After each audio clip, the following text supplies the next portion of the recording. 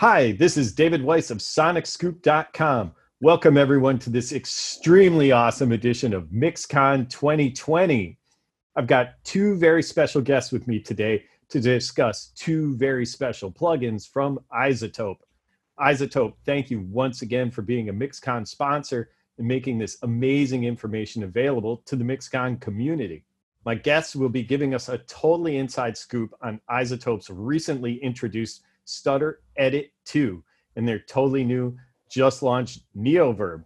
Allow me to introduce them. We'll start with Josh Kipersztok. Josh is a sound designer at iZotope and has worked on products such as Ozone 9, RX7, Insight 2, Vocal Synth 2, and most recently, Stutter Edit 2 and Neoverb. As a graduate from Berklee College of Music's electronic production design program, Josh also continues to produce, DJ, and compose electronic music under the alias Smigonaut. Josh, great to have you with us. Thank you so much. Good to be here. All right. And now, next, I am profoundly psyched to introduce our second guest, BT. Hey, BT. Hey, it's Hello. great to see you guys. I was going to throw in some love for Josh's glitch hop project. I'm glad you said that. He's a wizard with the oh. glitch hop stuff. For oh, you're real. Too, you're too kind. I mean it, man. High, high praise. Yeah, I totally mean it. We yeah, it's great to be here. Great to be with you guys. BT, thanks, and and we're gonna link to that in the in the uh, in the comments uh, if if you will allow us, Josh. So we'll. Oh, yeah, absolutely. You should. I'm serious, too. You'd be missing out to not. All right, we're gonna spread the word. BT is a man whose music has had a profound influence in the world on and on me, both as an electronic music producer and maybe even more so as a music fan. A composer, musician, technologist, and creator, BT has been making waves and waveforms for decades. A true electronic music pioneer, the Grammy nominated BT's work includes landmark albums such as Movement in Still Life, Emotional Technology, These Hopeful Machines, and his just released release, The Lost Art of Longing. The inventor of the stutter edit, from whose mind sprang iZotope Stutter Edit 2, we are thrilled to have him on MixCon. BT, welcome once again. Oh, man, my pleasure. And thank you so much for all the kind words. And I'm thrilled to be here and talking with you guys. This is great. Yeah, thank you. Yeah, uh, I I could go on. I I can't even think how many hours I've logged listening to your music. Uh, oh, that means the world to me, man. Thank yeah. you so much. I love hearing that. Great. Well, let's dive in. We've got we got a lot of stuff to geek out on. So, iZotope has just released Music Production Suite 4, a collection of over 30 audio plugins, including Ozone 9, Neutron 3, Nectar 3 Plus, RX8, and Neoverb, plus one year of tutorials from Groove 3, along with stereo reverbs R4 and Nimbus.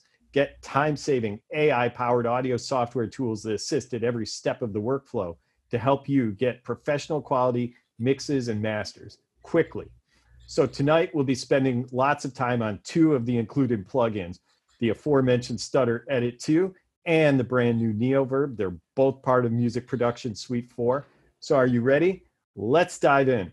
We'll start with Stutter Edit 2, which lets you create the famous stutter editing effect with one button to slice and dice your samples, tracks, and mixes. You can fire off rhythmic gestures, sweeping filters, glitchy effects, or everything at once. Of course, you can discover all of this at izotope.com. So, BT, what led you? What led to the development of Stutter Edit as a plugin, and then to collaborating with iZotope on the first edition on Stutter Edit One? That's it's a great question. The Stutter Edit journey is a, a long one, and um, I've I've told this story before, and so I'll try to keep it succinct. But the the the this idea of stutter editing really comes from a summer job I had when I was about 14 years old, which was tape opping at a local studio. And I tape opped at this amazing studio in, in Rockville, Maryland called Omega Studios. And the engineers were kind enough to teach me how to splice quarter inch tape. And, you know, I got, I cleaned coffee mugs and bathrooms and put mics back in the mic cabinets and that kind of thing. And at night I would experiment with cutting quarter inch tape. And so the very first idea that that kind of sprang forth from Um, this tape editing was an idea of nonlinearity, which of course at the time was, you know, kind of inaccessible other than actually physically, mechanically doing it using tape. So one of the first experiments that I did involving this kind of nonlinearity that jumping forward is really what stutter edit is about is kind of recontextualizing something into a buffer and making this really you know exotic kind of non-linear rhythmic effect out of audio that's processed in layers upon layers of dig- digital signal processing so the original idea came from this crazy thought i had one night which was i wonder how long at 15 inches per second a 120 beat per minute bar is in quarter inch tape. And so I sat down with a paper and, and pencil. I don't remember the actual BPM, but let's say it was 120 and figured it out. So, and then my first realization was if I subdivide that bar in half, then if I cut, literally physically cut that piece of tape and leader it in half, that's those are half notes. And if I cut it in quarters, those are quarter notes and eighth notes and so on and so forth. And so it was just one of the most remarkable things I, I, have ever done in my life to this day to take a couple bars of music, lay them out on the floor, leader them with a grease, mark them with a grease pencil, splice them with a razor blade on an, on an iron block, and put them back together in a different order and listen to that. And listening to, you know, maybe a snare drum reverb abruptly cutting on beat and then you know, followed by eighth notes from different parts of a bar. Uh, with I think probably eighth notes were the extent of it at the time too, if I'm being honest. Um, and so it was just this remarkable epiphany of, wow, this is something I've I've never heard ever in my in my life before ever. And and uh, interestingly too, my teachers as a kid, I studied at conservatory and stuff, talked to me about music concrète and so I, I, you know, I'd studied things like uh, Marcel Duchamp and the art of noise and some of these kind of things, and and was interested in this idea of using tape for sound effects, right? Which is what a lot of the original sort of progenitors of the musique concrète movement were doing. But most of it was, you know, arrhythmic. And so this to me was this very new thought. So jump forward, I started, you know, I was mowing lawns to get my first samplers, and I started to do some of these techniques in machines like the Akai S900, eventually uh, some of the uh, Ensoniq samplers, and then uh, eventually, lo and behold, came the first nonlinear digital audio editing platforms. We didn't call them DAWs at the time, and the first that I remember and, and was able to use was Sound Tools. So this is pre Pro Tools. It's a two track sort of stereo editing, you know, program. And this is where I really kind of honed in and locked in these techniques and actually started applying not just rhythmic cutting, but applying over a series of rhythmic edits, which we now call gestures, applying digital signal processing operations like reverbs, like flanges and phases, delay lines, and these kind of things. And then it, it just turned into this technique. And then eventually I started applying maths to the curve. So instead of just jumping from one value to another value, I would interpolate between values and interpolate with you know slope you know an exponential slope or sometimes even things like Hamming curves and I, all these things I did all of these manually. They were all done by hand on all of my first records through the 90s. And I realized how much I personally needed almost like a development tool for myself to help automate the process because it was insanely arduous. Some of some of uh, my my song uh, "Simply Being Loved" that is actually in the Guinness Book of World Records for the most ever recorded edits in a in a, in a performance, vocal edits in a recorded performance, that took literally a month of just editing the vocal. Some single bar figures of that took days and days and days. And so, really, the first things that I did was uh, built a max patch and then uh, a Csound. I started the Csound patch and then I built a max patch. I was performing with that in the late 90s. And then um, I put up signs around Los Angeles and I found some programmers uh, at local universities and I gave them an internship. And then I ended up hiring a few, and we were having hackathons on my couch while you know I was supposed to be scoring film. So when I showed up at iZotope, and Mark, the incredible CEO for iZotope, would tell you the same thing. I showed up with this fully working plugin, like a fully baked, realized version of this plugin. Now it wasn't cross-platform. The UI was not terrific, admittedly but um, showed up with a really well annotated working code base for stutter edit. And so and, and also too and, and BreakTweaker and so um, it really was this labor of love that came from a, a, need in my own work to create this. And it's just been this long arc of crazy audio editing and to see it in other people's hands and how other people have used it so incredibly in ways that I, I would have never imagined myself is just absolutely thrilling. And working with iZotope folks is unbelievable. They're some of the smartest people. And, and not saying that because Josh is sitting here either. I, I, have, I just enjoy such an incredible relationship with uh, the folks at, at iZotope. And there's some of the most brilliant engineers that I've met, full stop, in the music space working at iZotope and in a lot of other disciplines as well too. So they're just a great group of people, incredible to work with. Their ideas are sort of second to none, and we've just had like an amazing time. I miss our development meetings so Me much too. right now. it's like there's like a hole in my week not having our weekly Zoom call. So I can't wait till we work on something else. But um, yeah, it's just uh, it's been a labor of love, honestly, making this. And so getting Stutter Edit 2 out the door, one of the biggest things was I've talked a lot. I'll throw this last thought in there. You mentioned, you know, the kind of complexity that is afforded to you in using something like Stutter Edit with a single key down. And I agree with all that wholeheartedly, and I appreciate you saying that so much. Um, and, and one of the really strong marching orders with making Stutter Edit 2 was – I noticed a really large void in the market of people wanting to do rhythmic multi effects.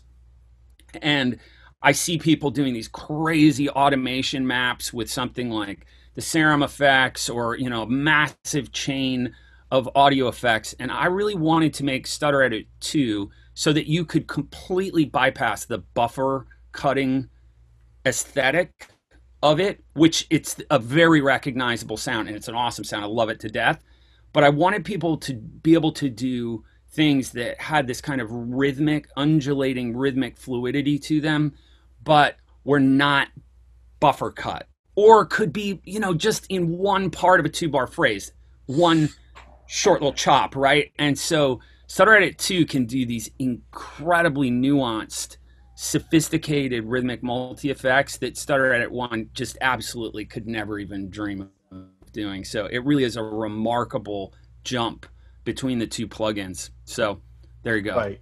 Wow, incredible. There's so many questions I want to ask you. I'm I'm going to have to save some of them for another time, but one thing I really wanted to ask you about that about this process of turning it into a plugin is a lot of artists when they discover a sound, uh, they they're very resolutely want to hang on to it, keep that sound theirs. Uh, but you got to a point where you want to share it and share the ability to do that. How do you make that leap from being like, this is me, this is my sound, to saying, I want to share this with the world? That's a phenomenal question. That's literally one of my favorite questions I've ever been asked because um, it speaks directly to the core of a personal sort of belief system which is this, and I can summarize it really simply. If you are your instruments or your effects or whatever those things are, if your musical output are those things, I personally believe you really need to rethink your musical output. So, um, yeah, it's the simplest I can say it is one of the most thrilling things is to share the things that you come up with that are bespoke and unique and um, you know this very much a part of your sound because I think it does it's kind of I can split it into two things. It keeps you evolving and it keeps you discovering and finding new things. And the second thing is it democratizes something that other people will use differently than you use it. So it's it's so true. It's such a prevalent kind of I don't know, like thought in in the creative space is people hold these secrets really close to their chest. I remember without without calling them out by name, a very famous group from the the 90s had a lot of songs in films. I love their music. And I was sitting with those guys at a festival and I said to them, "Man, that kick drum on this one track that they had, it was a big track in in England. It was all over the radio and stuff. And I said, the kick drum on that track, the compression on that kick drum is just remarkable. What is that? And they're like, we would never tell you that. And I, I was like, wow. So first of all, I like shut down, you know what I mean? So I was like, kind of like, oh, sorry, like didn't mean to offend you or anything. And then secondly, I just realized years later, wow, I mean, how can you make sustainable art if you're guarding what compressor you're using on your kick drum?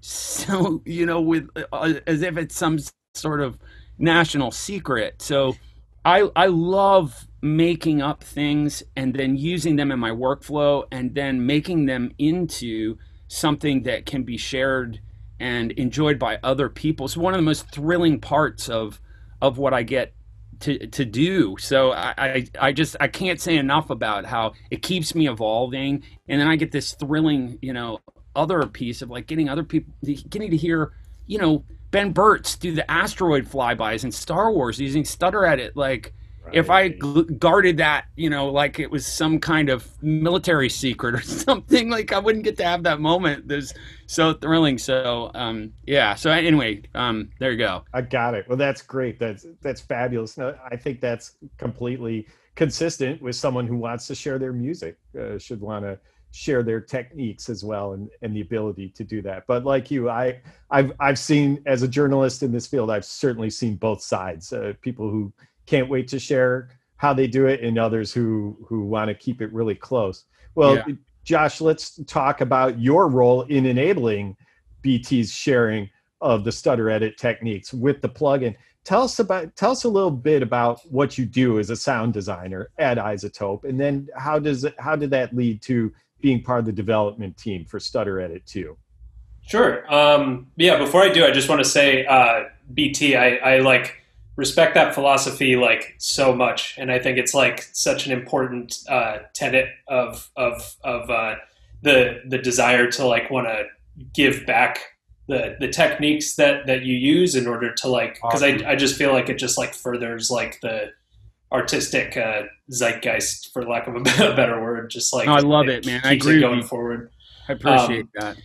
uh, to, to answer your question, so I, I'm a sound designer at iZotope. Um, that you know, when you hear the term sound designer, you sort of have this idea of you know what that is. You know, especially in regards to a specific industry. You know, it means something in video games. It means something at film, and it certainly means something uh, at, at a company like iZotope Uh, I do find myself wearing a lot of different hats. Um, you know, I as you know, as one might expect, I, I contribute with a, a, lot of the uh, the presets and oversee uh, presets and sounds that go in the final products, as, as in addition to the many phenomenal uh, sound designers on our team.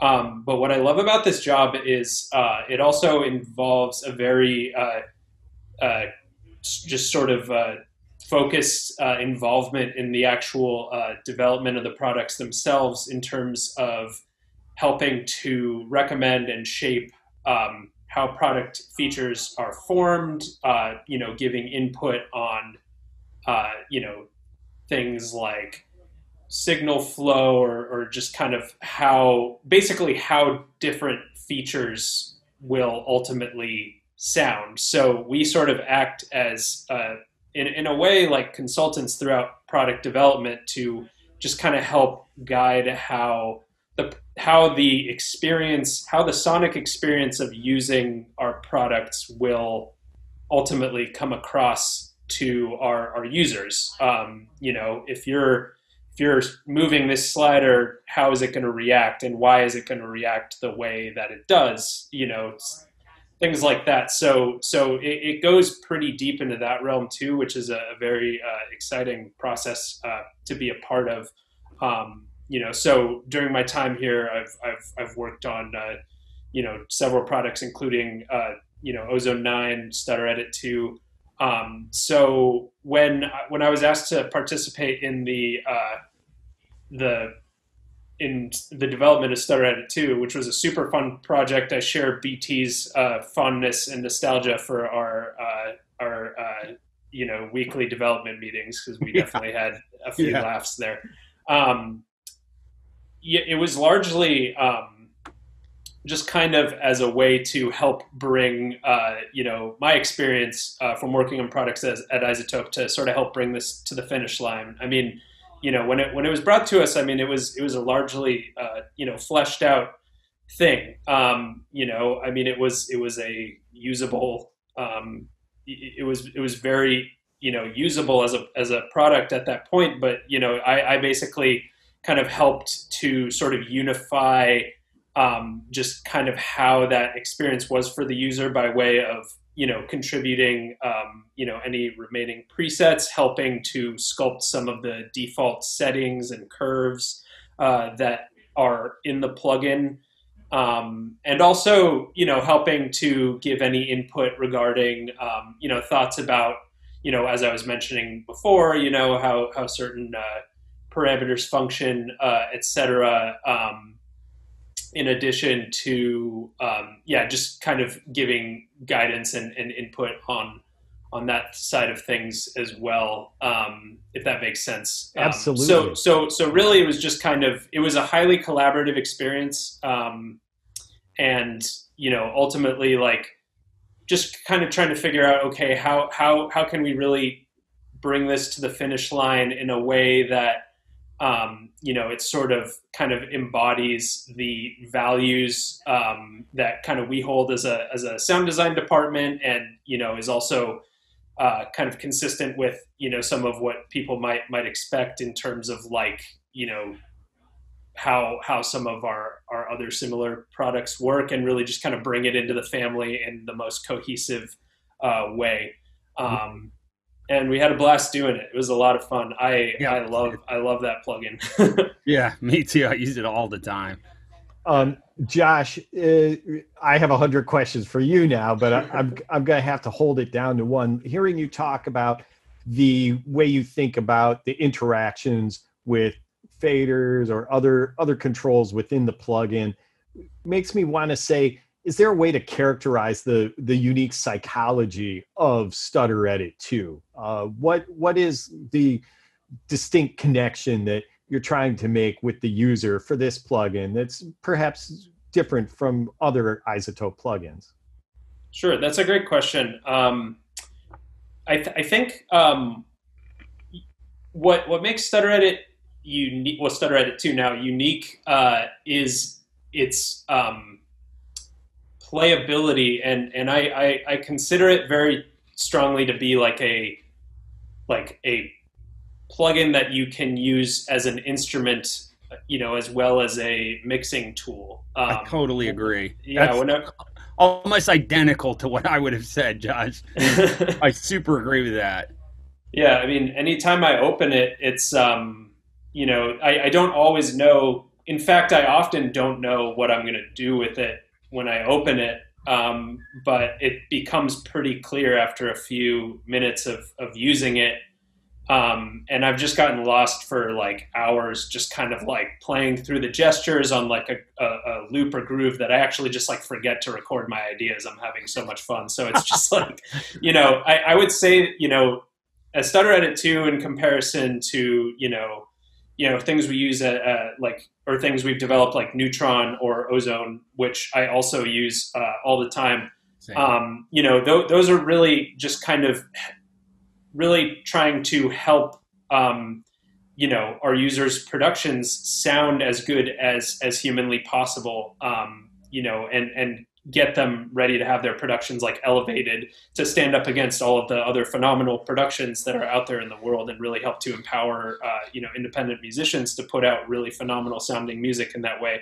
Whereas stutter edit um, it's it's it's uh, an injection of of more like kind of creative uh, parameter uh, mangling as it were you know? Yeah. Like i you know the the amount of different like you know kind of reverb tails and distortion and all this stuff that you can use simultaneously as uh, bt was describing um, it can really kind of make you unlock new possibilities. So i would say it's it's it's much more of a like performance tool and also a compositional tool. Like these days the the line between like you know production and composition and mixing you know it's so it's so blurred. And oftentimes you know people who make music have to do like all of that stuff at once you know so this is just kind of another piece of the puzzle and stutter edit really helps with kind of just like that baseline like arrangement of um you know of of music uh which is is it, it can be so easy to get stuck there especially you know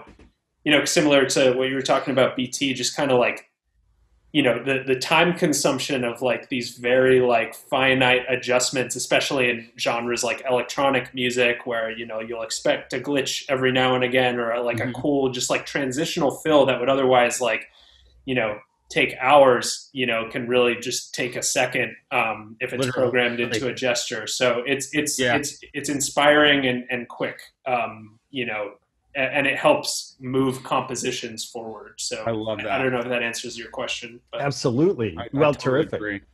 Well, in the words of a great Canadian band, show don't tell. Let's hit, and I'm speaking of Rush, of course. of course. Which album was that? Was that Presto? Uh, anyway, let's let's let's hear some of Stutter Edit 2. Uh, yeah, Josh, sure. You're, you're actually going to drive this, right?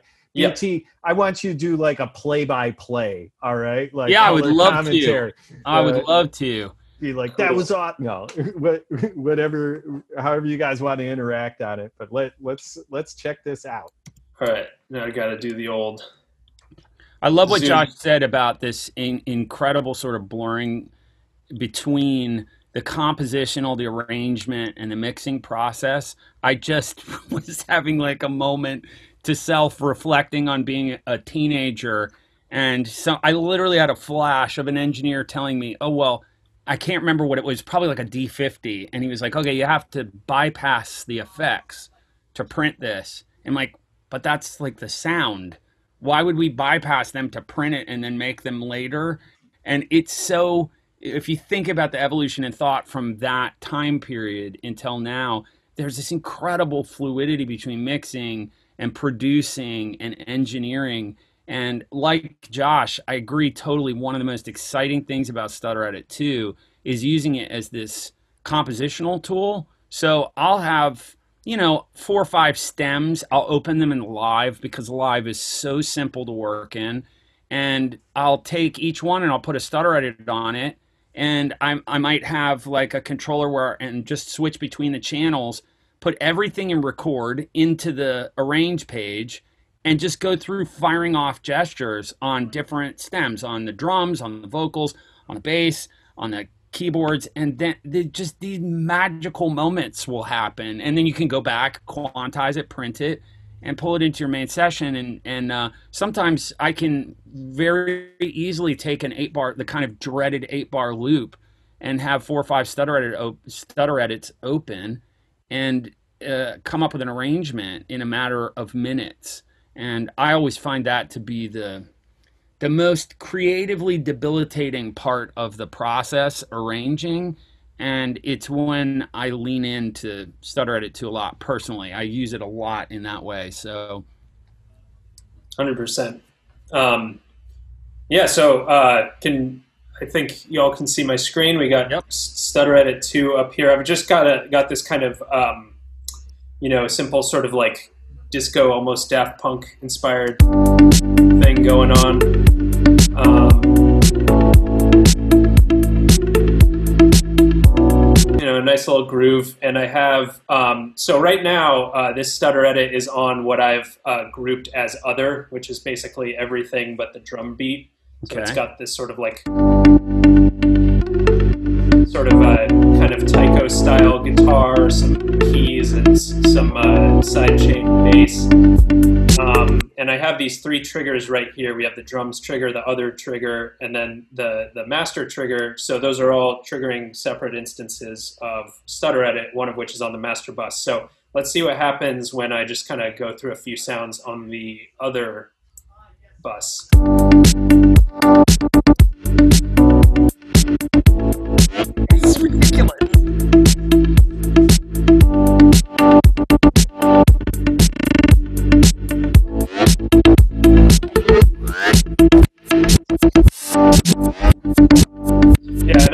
Just keep going. I had to kind of stop myself because It's I was it's having a- crazy. it, it's one of those things that one of those moments can can completely change the pocket of the record that you're making. I love that so much as an example.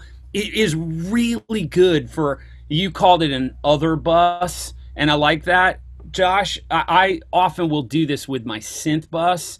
And I mean, one of the things, forgive me, I'm kind of thread hijacking a little bit here, but we didn't mention it. A really big distinction between Stutter Edit 2 and Stutter Edit 1, and a very requested feature is we've got something in there that we call auto mode now. So you can, in fact, play it like an effect, like Stutter Edit 1. And if you find a gesture that works fantastic on your whole synth bus, you just put it in auto mode and lock it to that gesture, and then it acts like a, you know, air quotes, a regular effect, right? So it just plays that gesture at tempo across the sum totality of whatever you got it on. So what Josh just demonstrated, like there were like four moments in there where I was like, oh that one. Oh no, wait, that's even better. Oh no, wait, that one. And you just take one of those, you pick that gesture, throw it on your other bus or your synth bus or whatever it is, and you can leave it on for the the entire song, and it just does these like exotic combination side chain and you know little bit of gating sort of like called in the colloquial trance gating but different because it's not just bound to 16th notes it can have these little bursts of micro rhythms in it it just makes for such great ear candy um and uh, not even that I'm biased. That clearly I am, but like this is something I can't do any of these things with anything else, and it's why I wanted to make it. So that's a really cool example of just like a high level kind of macro example of what we're talking about. That's not terrific. Hey, guys, can I ask you one thing for some of our viewers who may not be familiar? When you say a gesture, can you explain exactly what you mean by that? Yeah, I, I got I got that one. If it's cool, Josh, is that cool? Of. Yeah. So um, so I came up with this name a long time ago, for lack of a better descriptor, honestly. And what a gesture is is it's basically okay. So simply, it is what okay. I'll give you another name that I call it sometimes, but gesture seems to have stuck. Is a macro rhythm. So it's a space of time where there's a micro rhythm happening in between. So it's a series typically of small notes where there's a beginning point and an end point. There are effects that are being executed over that time period, sometimes many different effects in parallel or in series. It's another cool thing about Stutter Edit 2. You can reorder all the effects. So you're executing effects and you're cutting a sound into small slices. That's what I call a gesture. So you could think of it as like a macro rhythm. So it could be a quarter note where there's a burst of thousand and twenty fourth notes, Mm. right? And the whole thing could be flanged and it could have a reverb and so on and so forth. But the duration of that gesture is a quarter note, right? Internally, it's got all these small, complex note figures and it can be splining and interpolating between note values and like i said tons of digital signal processing so that's what a gesture is and what's so cool about stutter edit is i call it the cat on the keyboard effect like you can't make a mistake because the gestures are bound to clock So you can have it so that, and you can select, and of course the presets have these defined and they can be changed too. But you can have it so that these gestures no quantize. In fact, they default to no quantizing. So you can have it on your middle C so that you can only trigger that gesture every quarter note. And it lasts for a whole bar if you want, but you can only trigger it on quarter notes. So you can literally lean on the keyboard and you're going to get something cool because all of the gestures are quantized how they fire. So they never fire off grid, if that makes sense. That's amazing. And uh, BT, that made me want to ask you though. You said you, you talk about how you can kind of do no wrong uh, with with a lot of these settings and with stutter edit 2. But in your experience, eh, have you ever heard where a stutter edit doesn't apply, doesn't work? Sure. Yeah, I have, and I think it's it, it it's uh, reminds me of a a good friend of mine who's uh, an amazing guitarist. I've mentioned him a couple times in some of these uh, iZotope interviews actually that that I've done. His name's Richard Fortus. He plays guitar for Guns N' Roses. He's an incredible guitarist, one of the best musicians I've ever met in my life. And he literally he could play sweep arpeggios so fast that it's terrifying. You can't even see his fingers. The, one of the most fun things in the world is to go into a guitar shop with Richard and um, just sit him down. And I, I literally, I've been on tour with Richard. This is pre Guns N' Roses days, where we would just go into some small town this is Movement in Still Life tour and you know we would go in and richard and i would sit down on a guitar amp he'd pick up a guitar and start playing and they'd close the shop and I mean, I'm not joking either. It's not hyperbole. That's happened probably three times. Wow. In sitting with, he's that good, right? So, what's even better about Richard than his playing prowess and his vast knowledge of harmony and theory, the fact that he's almost a better drummer than he is guitarist, it's it's repulsive, honestly. He's so gifted. Um, what's even better about his musicality is he he knows when not to play.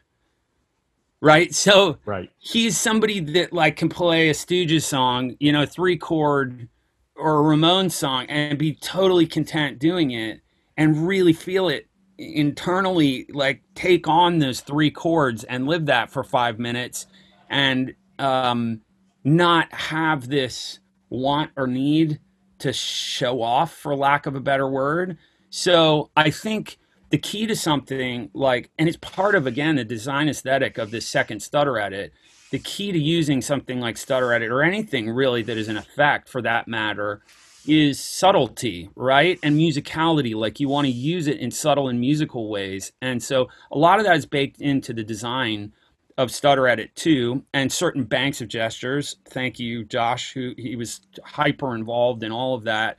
Um, the way that we've designed the curves so that it ends up yielding very musical sound. So I can't point a finger at something where it's like, oh, wow, that went horribly wrong. But what I will say is, I think that Stutter Edit is such a uh, it's such an exotic, cool sound that you you really want it to shine out at moments. So, hmm. um, you know, that's when I see it used most effectively. I guess is the best way I can say it.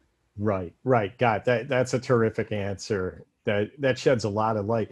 Well, what I'm thinking is, Josh, let let's give you permission to go to town now. You were you were a little you were a little modest. You're a little shy. Let's let's take take 60 full seconds or or even two minutes. Uh, give, us a, give us a stutter edit to jam. Wormhole patches. All right, let's, let's see what happens. Yeah. Um, well, yeah, I got this uh, synth bank that I'm a big fan of. Um, BT Synth Bus Bank, and uh, so all right, let's see what Wait, hold on a second. All right, and and I'll stop you. You you could go. I'm I'm setting a timer here. It's not me. It's not you. This timer is is the bad guy. Oh, this these drums are in reverse for some reason. so I noticed that. I'm I'm gonna I want to do a little bit more on the other here. Oh, you know what?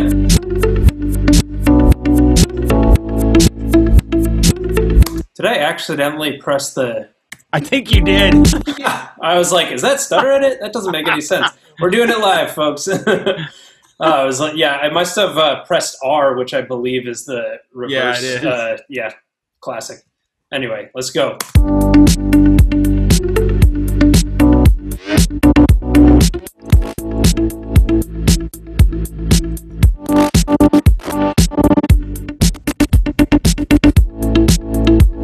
That was a really good.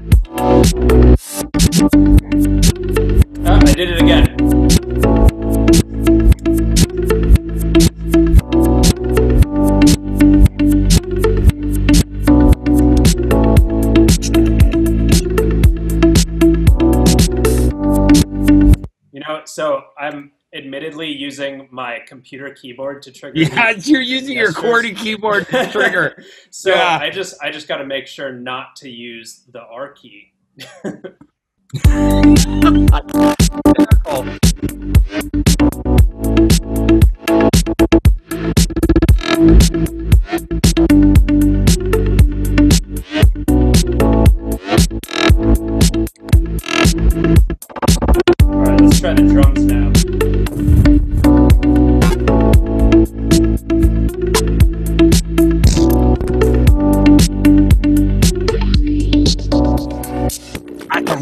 one.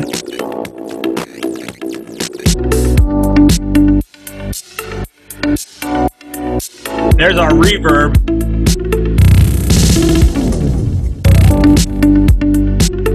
That's ridiculous.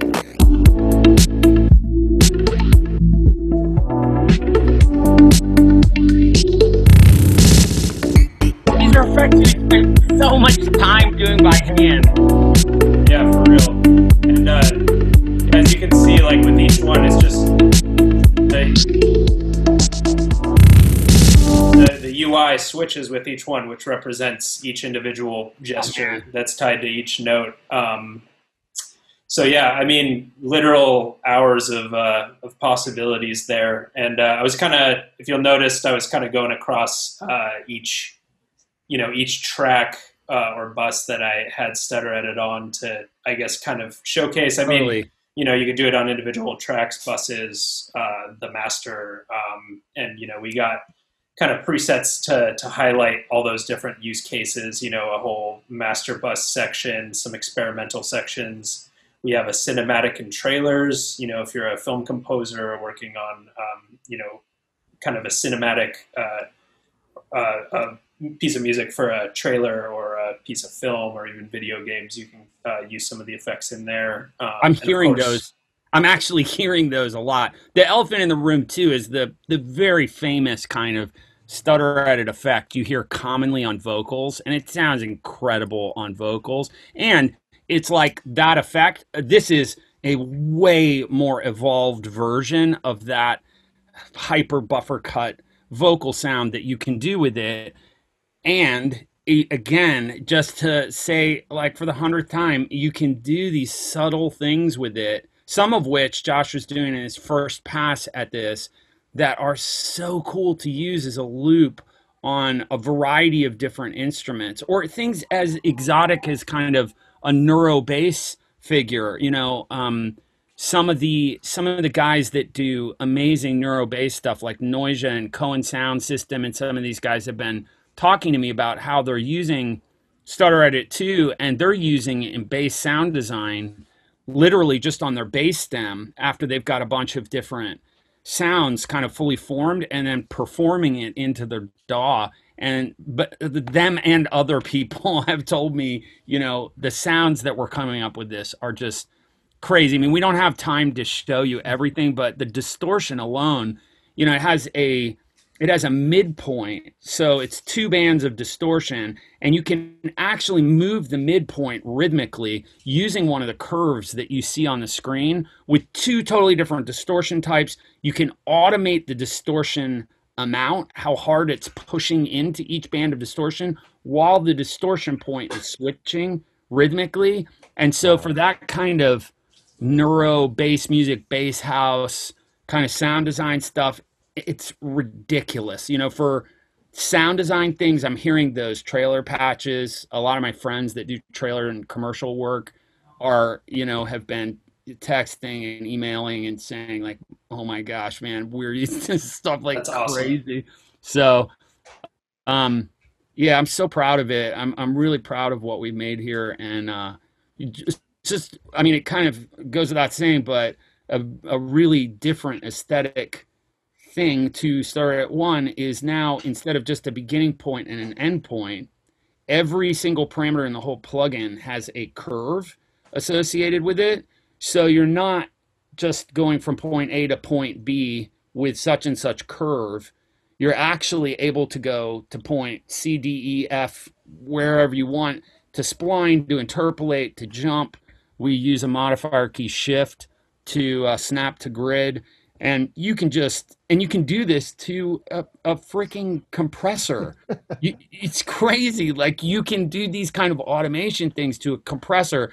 I have patches or banks even that i've made that are quite literally just using our master bus limiter. Just automating that that's the entire bank are these rhythmic master bus automation so i'd encourage people just a final thought here I'd encourage people to when they when they get Stutter Edit 2, one of the most fun things to do is to go through. First of all, open it, try all the presets on anything, and you're you'll freak out. But to go through once you're in the kind of learning it phase and want to make some of your own patches, go effect by effect and see how crazy of sounds you can make in every effect and you'll end up making whole banks of sounds just based on a comb filter. I guarantee it, or just based on distortion, just based on the limiter. Forget about it with the reverb. You know, I've 50 banks of things with the reverb. So um, it's it, it really is just to underscore what Josh was saying. I think a really key differentiator with Stutter Edit 2 is just a lot of fun. It's really fun and really inspiring and you can find it to add you know substantially to any kind of music that you're making inside right. DAW. So wow it, it, looks fabulous all i can keep thinking when i see it is how much i wish i'd had it when i was producing electronic music like heavily and routinely and, yeah and just the work i did like trying to emulate stutter edits by hand myself uh, and that if I'd had this, I never would have come out. Like there's, yeah, so I hear you, man. I, I, wouldn't be interviewing you here today. I'd just be there oh. in the room. Um, yeah. So now, BT, I'm going to switch gears for a minute because you, hey, you, we talked about making this accessible.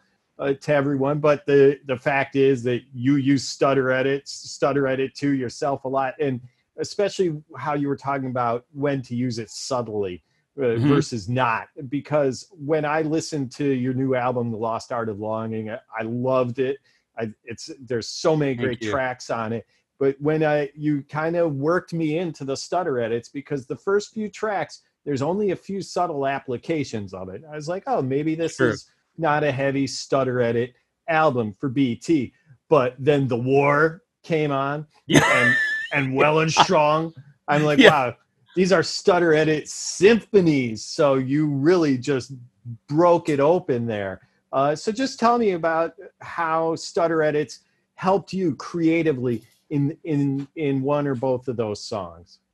That's great, and and I do agree with both of those. And and just in terms of the way the Lost Art of Longing is sequenced, it kind of lulls you into okay, so these are just like really pretty big evocative electronic compositions uh, where's the kind of signature bt add freak out and it, you get to it as you get into the album. So um, i think the war is a great example of it. You know the the midsection in the war of course the the war is uh, an amazing song that i wrote with um, uh, Iraina Mancini and um, who's an incredible vocalist. And so we had this really great song that really is kind of like a down tempo sort of Phil Spector song at its core. And so based on its tempo, I had the crazy idea. I wonder if I can take something that sort of, you know, transforms from this kind of down tempo, lo fi Phil Spector sort of thing into trap, into drum and bass, into you know what we would call, I guess, IDM, and sort of back, and sort of to genre jump like that. And so transitionally, Stutter Edit there was just I, I couldn't have done the piece of music without it, you know, and especially the the uh, the section that goes like kind of full Autechre in the middle post the first trap drop is really leaning in heavily to stutter edit 2 and of course i made a bunch of custom patches and that's when all the parameters were in one line. It was really hard to to work in and um, yeah but uh, it was just you know thrilling to get to use this on this plugin. Just the last thought about it there is this piece of it you know i mentioned how much i love sharing these things with other people. There's this selfish little piece it's little, but it's there, and it, I would be remiss to not acknowledge it. That I get to have these things that I make for a period of time before they come out, and so I'll use them like crazy, you know, as I'm developing them on uh, the music that I'm working on at that time, and it's a really fun time. And I also too feel like I'm cheating during that time if I'm being very honest about it because I have this thing other people don't have. Um, but yeah, those two songs in particular, there's some really uh, really cool uses of Stutter Edit 2. And um, yeah, I appreciate that. Thanks for acknowledging that, man. I yeah, really, really appreciate you, that. You got it. And, and, Josh, I was impressed when I when I mentioned that to you that you said that you distinctly heard Stutter Edit 2 had been used on on the record. Like so I just Well, I, I mean I, I I you know, I can only I could only speculate, but I mean I have to you know you have to complete confidence to... that's very cool. So all right so we're gonna we're gonna get to phase three the third and final phase of this amazing interview um, uh, to turn our attention to neoverb. Uh, yes. so uh, for those who are not aware of the specs on neoverb so neoverb is a reverb plugin that combines industry leading exponential audio technology with an intuitive AI powered workflow to help music producers and mix engineers quickly find the right space for their vocals and instruments. Neoverb's Reverb Assistant feature lets users get to a starting point quickly in real time, can also combine three different reverb engines at once, either through the assistant or with an intuitive blend pad interface, which I love. Other highlights include intelligent pre and post EQs that make suggestions to shape and tame reverb in the mix. So, Josh, I wanted to ask you, what was the philosophy beyond behind Neoverb? What makes this reverb a breakthrough? Sure. Um, so Neoverb is uh, honestly unlike you know any other uh, reverb plugin uh, I've used. I think something that um, you know, I, I, think we were really trying to use as like the great north when uh, putting this together is is the idea that you know, I mean, reverb can really elevate a sound in a more audible way than you know even some more you know common effects like uh, EQ uh, and compression just by its very nature. But um, oftentimes, it's really if if you're a little unclear about what the technical you know parameters of what a, a, reverb can do, it can be very hard to to get the right reverb sound for your track, one that makes sense. It's very easy to go full force and just have this like amazing lush reverb, um, or just kind of go like very subtle. But oftentimes that kind of middle ground it can be a little difficult um, for for folks to uh, you know, to, to kind of uh, conform to, to how it should sound, especially in the context uh, of a mix, you know, because if you have a lot of reverb buildup, that can just kind of, uh, and, and it's very tempting to, to get that because reverb, again, it's like a very audible effect. So, you know, it's very easy to kind of just like add it and add it and add it. And then, you know, maybe there's kind of some mud that comes along with it. Um, so, so this reverb is really just about finding the perfect reverb sound for your track or whatever input source that you want to put it on. And we've done that in several ways. Uh, the most obvious one is this um, blend pad up here, which actually blends three different reverb algorithms at once. So I'll, I'll give you kind of a, a, before and after, just sort of the default setting on this electric piano here. So that's with it off.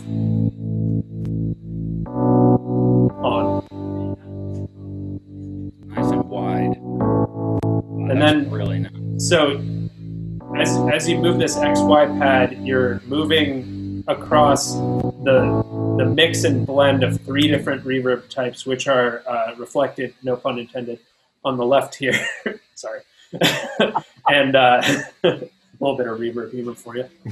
reverb. Um, uh, so you have these three different um, algorithms on the left. You have uh, early reflections. You have um, and then you have the set of advanced controls that you can access here uh, for some more fine tuning. Um, in the middle one, you can choose between a plate and a medium chamber and a room uh, style reverb. And then on the bottom here, you can choose between a hall and a large chamber style reverb. And you have these space macros, um, which just essentially like you know make bigger the size of the the space of the reverb right. that you are trying to capture. And then this blends between them. So you can do a, a lot of fancy tricks here but this is just kind of what you see at first. Uh, i think one of the main focuses of this plugin is the reverb assistant which is similar to the paradigm of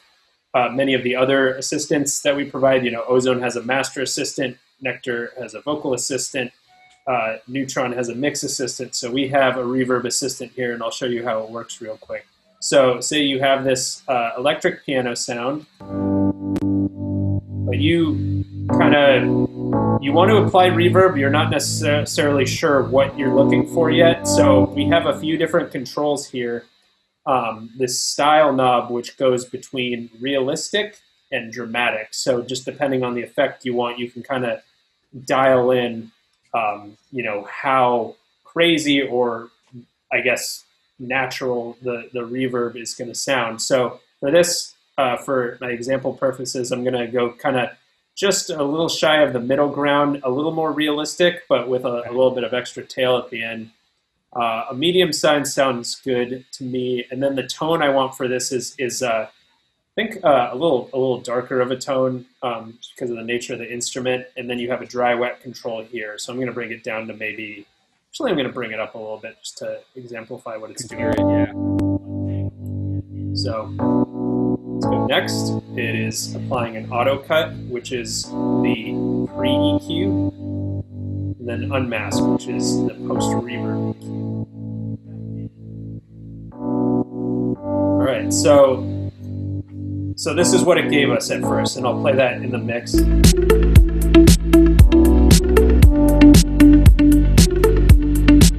So this is with Neoverb. I'm going to turn it off. Off.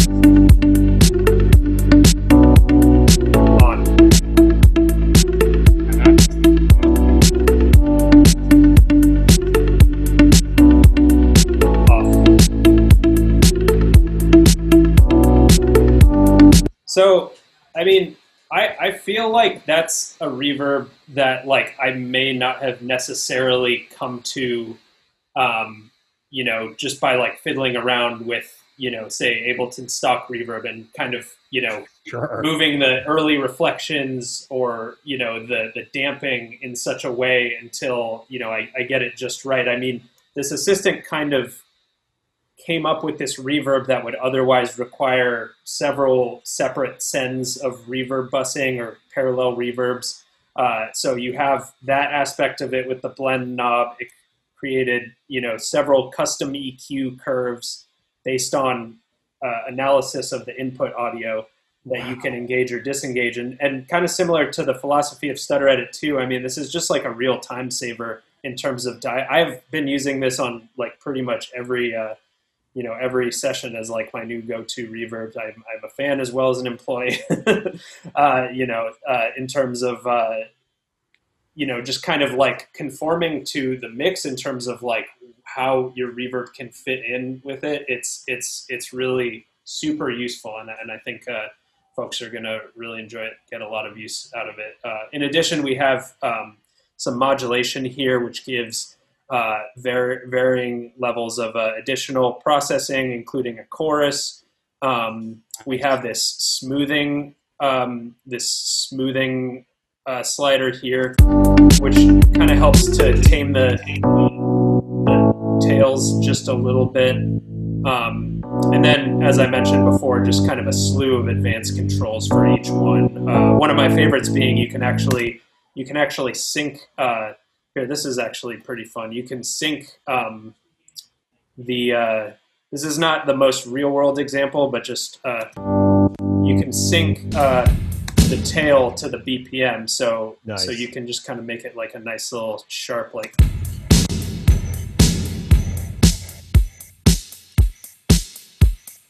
Wow, that's sick! Gosh, I didn't know it did that. Ah. Yeah, it's a it's a favorite little feature of mine, and I feel like that's kind of you know I've I've heard um, you know, but before we put this out, um, a, a, ton of uh, you know producers I know were using like these websites to calculate. Um, I do that delay yeah. calculator. I do right. it exactly. Joking. Exactly. Me too. I, I, did for a long time, and and you know using using these sites to like calculate the the decay time and the timing of you know delay or reverb effects. So so this is just kind of like another cool you know way to, to save some time in that in that respect. Um, wow, amazing! Wow, and uh, yeah, it's it's a it's a load of fun.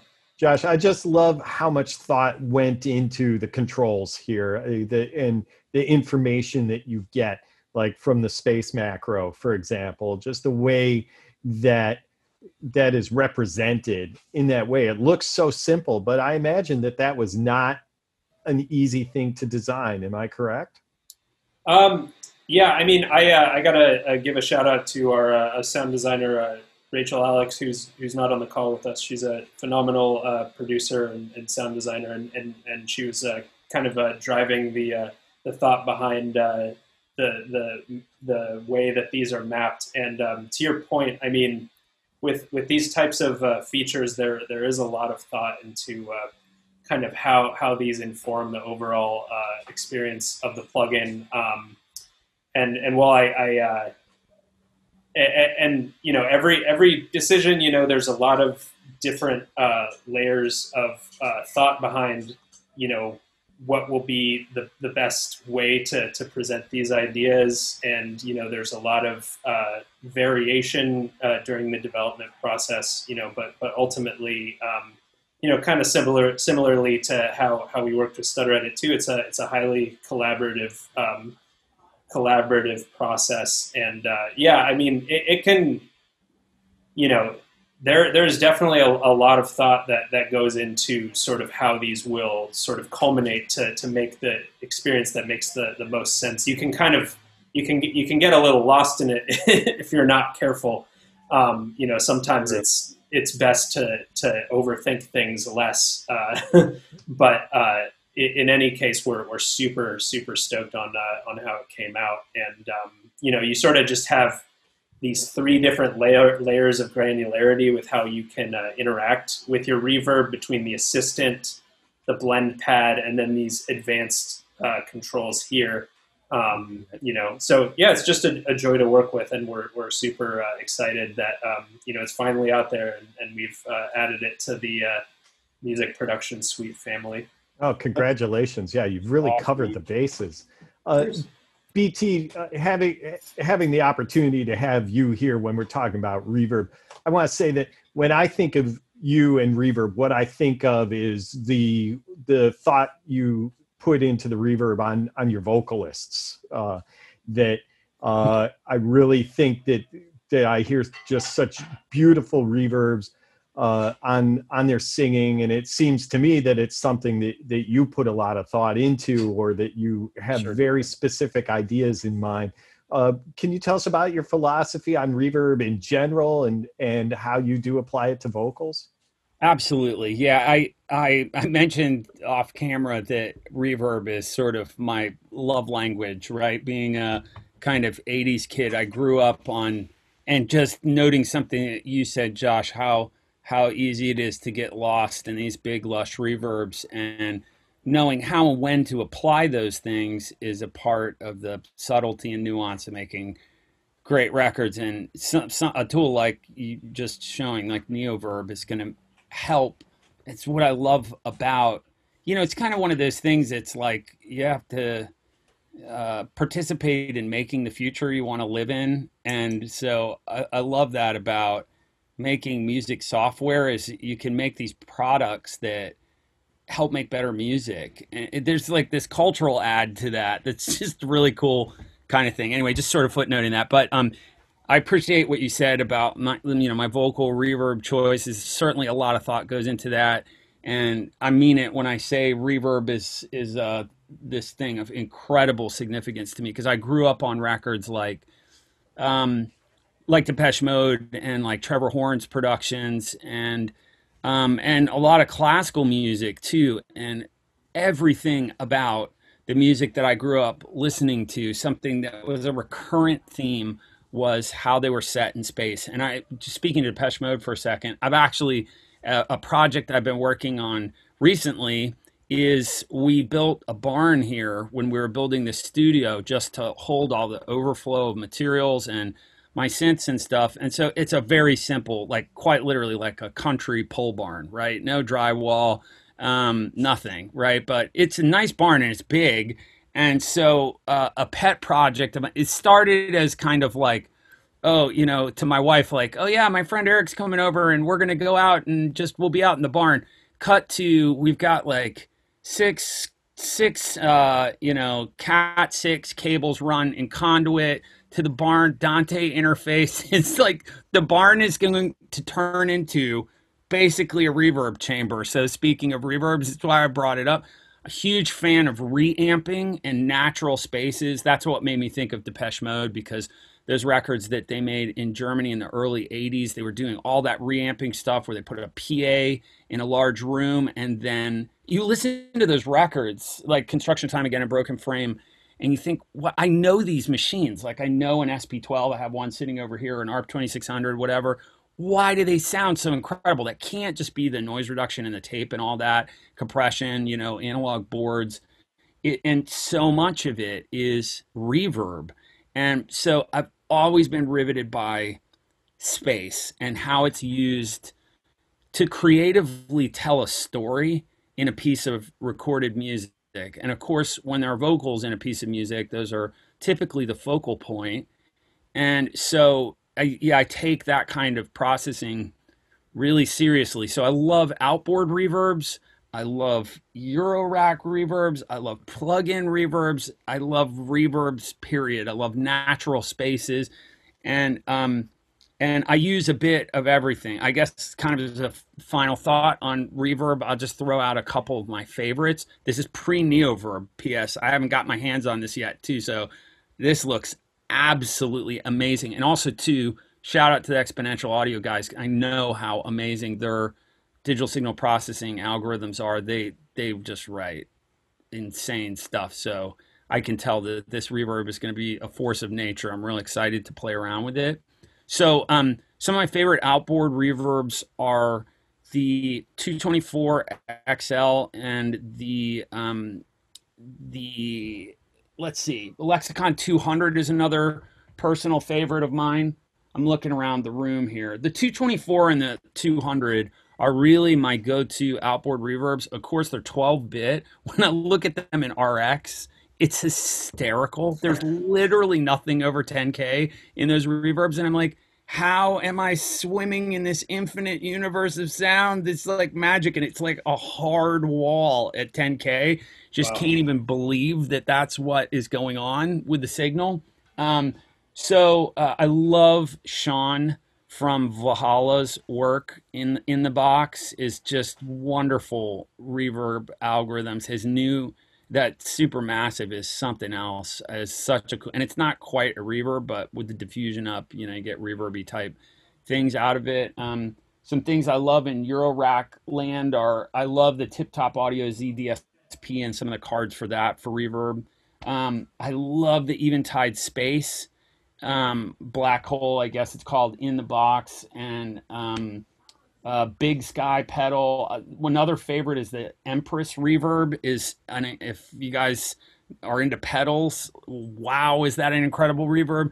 So I use all these kind of things when I'm processing vocals, and um, it's irritated some of the people doing remixes from the Lost Art of Longing because they're like, the, all my stems have outboard reverb baked into them, and they're like, "Can I have a dry vocal?" And I'm like, "Yeah, you got to come over and print it yourself though, because that took me like." Four days to the vocal like it is in the record.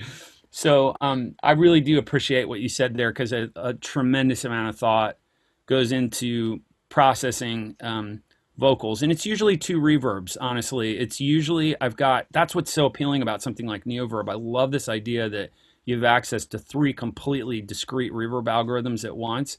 I'm usually using a room and then some kind of Hall algorithm, depending for vocals, that is. And then I'm using delays as well too, like a short slap, and then often something that's rhythmic but that's muted and modulating. But for reverbs, I'm always using two reverbs. So something like this is so cool to me that you have access to three algorithms in one in one plugin is really really appealing. So um, yeah, so thanks for saying that. Anyway, I, am a huge reverb fanatic. I love it. My favorite effect. Right. Obviously. Uh, yeah. We we could talk about this for a lot lot more. Well, guys, we've we've covered a lot today. We we've we've covered Stutter Edit 2. We've covered the Lost Art of Longing. We've talked about Neoverb. Uh, I I know I could ask you each like a hundred more questions. It's it's such a great combination to have Josh from the development team um, and BT himself, uh, where the from from whence the plugin sprang. So uh, th- this is a fabulous opportunity. I want to ask if there's anything else you guys want to say uh, about about Stutter Edit 2, about Neoverb, or any tips you want to provide with our audience for music production or or using plugins. Uh, oh, okay. Um, yeah, I'll go. I'll go second. Um, yeah, uh, nothing uh, speaks to. I guess to just kind of go back to what I was talking uh, about before, as it pertains to, to music production. Um, you know, sometimes it's it's it seems cliche, but um, you know, just really try not to uh, over overthink as much as as uh, it, it may you may initially feel like you should because oftentimes especially recently i'm noticing that a lot of the the best uh, mixed decisions i make are made the first time and then if i spend an hour or so being like no that's not right then i end up just going back to the uh, yeah. initial settings that i had and sometimes that's important but I, I, I would say that's just kind of like the big takeaway here and you know that's sort of what our products try to help with is like avoiding that stage and really kind of you know giving you a, a target to, to shoot for. Um, but yeah that's that's i guess my big thing. Sure i think that's great advice. That's something i have to be reminded of constantly. As, as a music journalist one i know that i was always seeking uh, from the other side when i would consume articles videos. I need someone all the time to tell me not to think so much. There is no right way either. If it sounds good to you it probably sounds good. So I, I think that's great advice, Josh. BT, what, what would you tell our audience? I would say, well, first of all, I love what Josh said. I think that that's great. And, you know, part of the service we provide as musicians and composers and producers and artists is to share, you know, what it is we're carrying around with ourselves emotionally, hopefully to make people feel more connected and, and less alone and convey um, our emotional states and that resonate with an audience and make them feel heard and understood. And a part of that process in being creative is being in a, in a space of fluidity and flow. And I love the idea of not overthinking things. I would sort of categorize it as attachment.